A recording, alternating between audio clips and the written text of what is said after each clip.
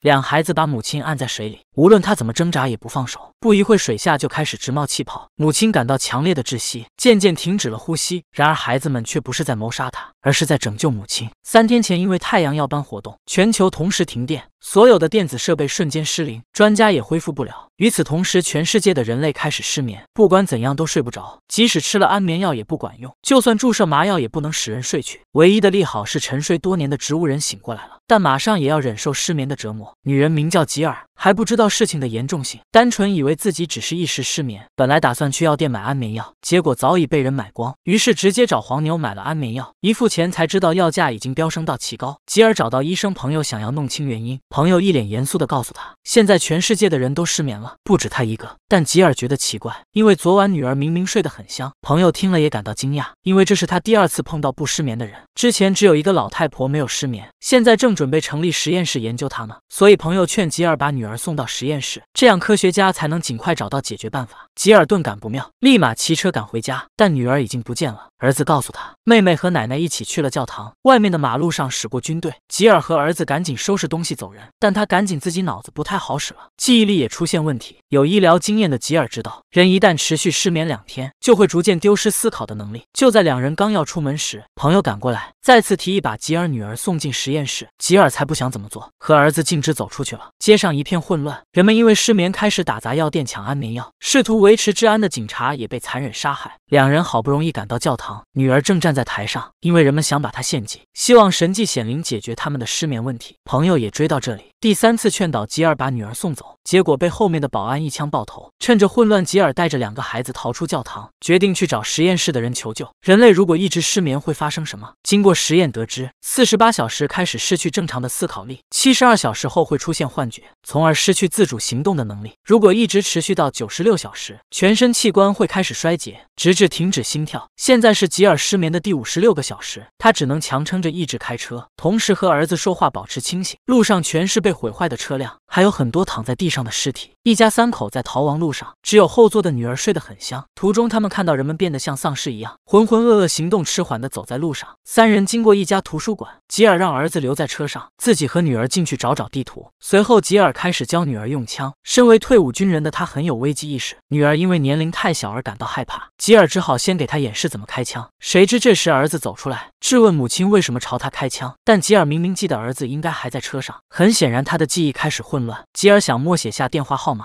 但十位数的号码他只写了九位。人类失眠的第九十六个小时，地球上的人已经死了一大半。精神失常的警察竟把监狱里的囚犯全放了出来。吉尔一家被暴徒堵在路上，为了自保，女人对敌人开了一枪，但没想到现在枪里只剩下一颗子弹了。就在吉尔一阵慌乱时，一位大胡子囚犯开着车救下了他们。这个大胡子因为常年失眠，所以已经习惯了，到现在依然清醒。半路上，吉尔教女儿给汽车加油。还教他开车，他必须让女儿学会生存。他们经过一处关卡时，看到上面吊死了一些人，意识到不对劲后，赶紧准备逃走。结果一群人围上来打砸，不仅敲碎了玻璃，还想把他们拽下车。危急时刻，女儿猛踩油门，车马上飙出去，甩掉了那伙人。一家人终于得救。他们离实验室越来越近了。吉尔打算先下车去探探路，让两孩子先藏好。实验基地里的人精神都很好。不是因为有解药，而是因为他们都注射了兴奋剂。医生为了保持清醒，让同事给自己注射兴奋剂，但神志不清的同事连针管内的空气都没有排净，就给医生扎了下去，结果导致医生当场毙命。吉尔这边在几天前潜入实验基地，他穿上白大褂假装医生，没有被发现是因为这里的护士长期缺觉，反应都很迟钝。吉尔找到了那位不失眠的老奶奶，但对方已经被医生们进行各种实验，现在奄奄一息的躺在病床上。吉尔拜托他照顾女儿，自己会想办法救她出去的。这时，一位女医生进来。为了不被发现，吉尔只好暂时离开。他不知道此时儿子和女儿被抓走了。为了研究出解药，他们把女孩绑在床上，用麻醉剂迷晕了她。医生让护士赶紧抽她的血做检测。失眠的第七天，护士的幻觉越来越严重，眼前全是乱飞的蚊子，她嘴里说着胡话，精神状态堪忧。一个武装分子把地上的松果当成手榴弹踢了出去，然后端起枪疯狂扫射。巨大的枪声引发了人们的恐慌，失去理智的人类开始互相残杀。实验基地顿。顿时陷入混乱，有个人因为不堪失眠的痛苦，直接开枪自杀了。吉尔趁机救出了两孩子，但处于幻觉中的儿子竟然将镊子插到电线里，他瞬间被电流击飞，晕死过去。吉尔见儿子停止了心跳，顿时慌了。机智的女儿赶紧拿来了除颤仪，但由于操作不当，母女俩也被电晕了过去。第二天，女孩苏醒，看到母亲也睁着眼睛。更神奇的是，哥哥活了过来。他不仅没死，